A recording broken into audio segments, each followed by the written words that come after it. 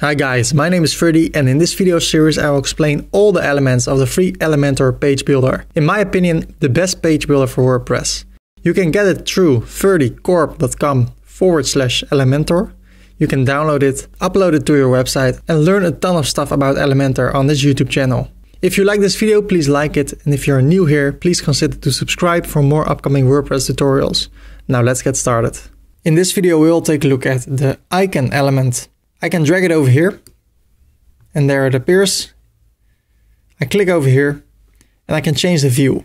For instance, I can do default, stacked, then it looks like that, or framed.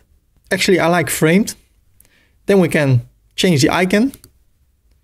You can scroll and search for something you like, or you can type something in, arrow or camera. You can click on it and then the icon appears. You can change the shape from circle to a square. You can link it to something, for instance, forward slash portfolio. You can align it at the left, in the center, or at the right. I like it in the center. And then we can go to the style over here.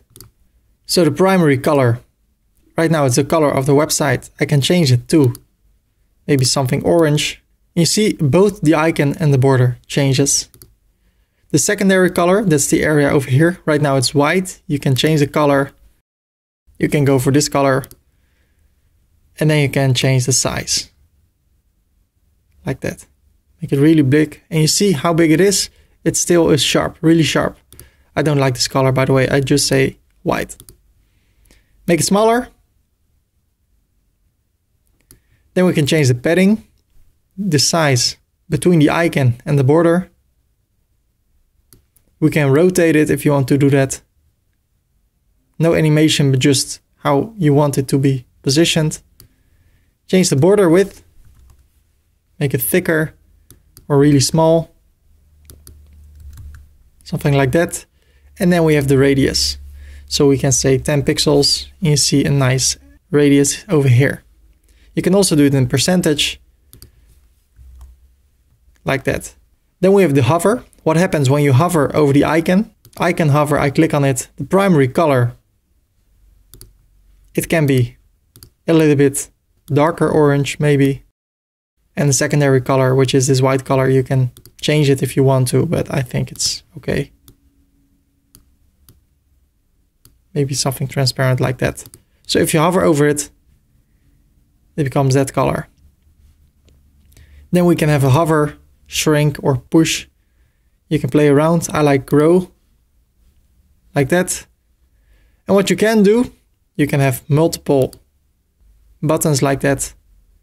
Maybe one more.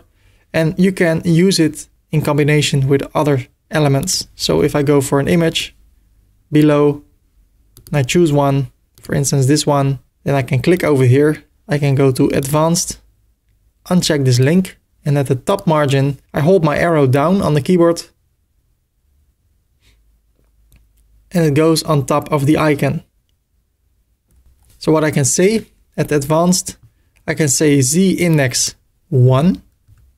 But if I go to the icon and I go to advanced and I say z index 2, it's here in front. And now you see it when it's transparent, you can see whatever is beneath it. So in that way you can use an icon.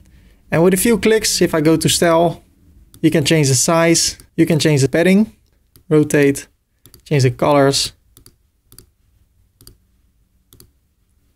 If you go to hover, increase the border, do something totally different. And that's how easy you can change things. So this is really ugly, but it shows you what you can do with it. Thank you so much for watching this video. I hope you liked it. I hope you learned a ton of good stuff. And feel free to like this video and subscribe for more upcoming videos. And then you will see me the next time. Bye bye.